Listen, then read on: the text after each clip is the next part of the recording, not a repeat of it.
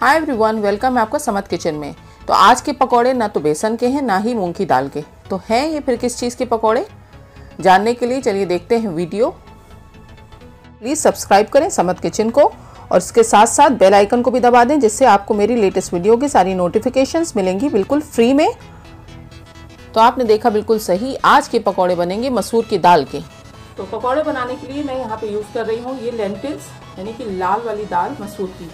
जिसको कि मैंने रात भर के लिए भिगो के रख दिया था और ये तैयार हो गई। आपके पास रात भर का टाइम नहीं है तो आप तीन चार घंटे भी इसको गर्म पानी में भिगो सकते हैं। और ये है एक से दो मिर्चें और ये है छोटे टुकड़े अदरक के। अदरक ज़्यादा नहीं डालेंगे और इसको मैं ब्लेंडर में डाल के पीस लेती हूँ।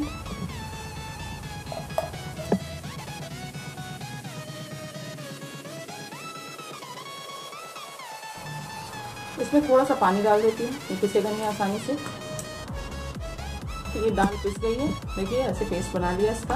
अब हम इसको ट्रांसफ़र कर लेंगे बड़े बॉल में। डालेंगे हम ये वेजिटेबल्स जिसमें है एक बड़ा कटा प्याज, एक चम्मच मटर और ये है कॉर्न और ये हरी धनिया कटी हुई। तो ये सारी चीज़ें हम डाल के इसमें मिक्स कर लेते हैं। मसाले, इसमें है नमक, ये थोड़ा कुटा हुआ मिर्च, लाल मिर्च आप चाहें तो डालें, नहीं तो हटा भी सकते हैं इसको। और ये है वन फोर्थ टी स्पून हमारा चाट मसाला और ये है थोड़ी सी अजवाइन, एक चुटकी अजवाइन। तो ये सारे मसाले भी हम इसमें डाल देंगे। और इसको, इस बैटर को अच्छी तरह मिक्स कर लेंगे।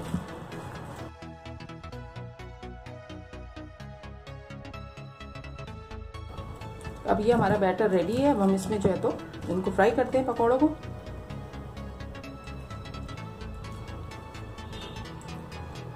यहाँ पे मैंने सरसों का तेल डाल के कढ़ाई में अच्छी तरह से गर्म कर लिया है। और तेल को चेक करने के लिए कि ये हुआ है ये नहीं। हम डाल देंगे इसमें थोड़ा सा बैटर अगर ये तल रहा है तो इसका मतलब हो गया है। हाई हीट पे किया था तेज फ्लेम में अब इसको जो है तो हम थोड़ा सा एडजस्ट करने के लिए फ्लेम को कम कर लेंगे। मैं पकौड़े डालना शुरू करती हूँ इसमें।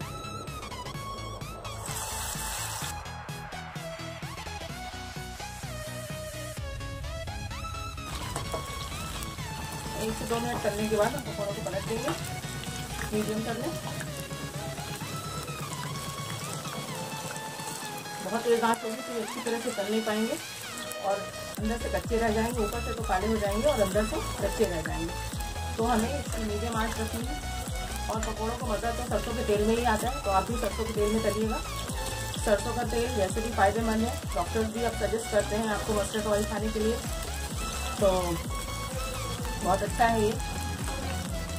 तो ये हमारे मज़ेदार पकौड़े तैयार होने वाले हैं। थोड़ी देर में इनको ऐसे अलग पलट के आप तलते रहिए।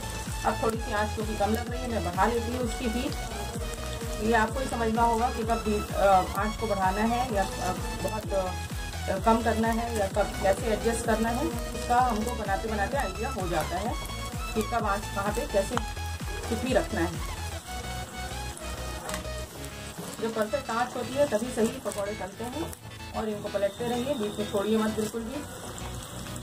और अच्छे क्रिस्प हो जाने तक इनको फ्राई करते हैं। इनको क्रिस्प हो जाने तक हम तलेंगे।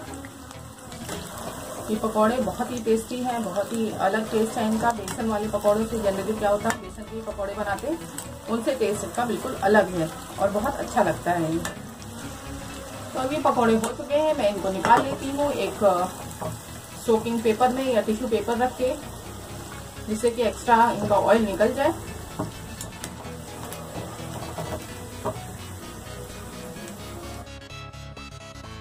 चाट मसाला पाउडर ऊपर से छिड़क दें।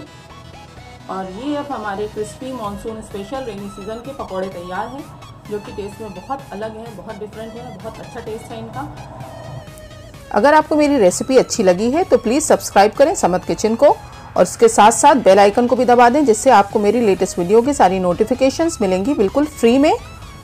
हाँ सर्व किया है हरी चटनी के साथ और टमेटो सॉस के साथ। और चाय होगी तो मज़ा और बढ़ जाएगा तो आप इसको बनाएँ ज़रूर। और प्लीज़ अगर आपको रेसिपी अच्छी लगी है तो वीडियो को लाइक और शेयर करें। Thanks for watching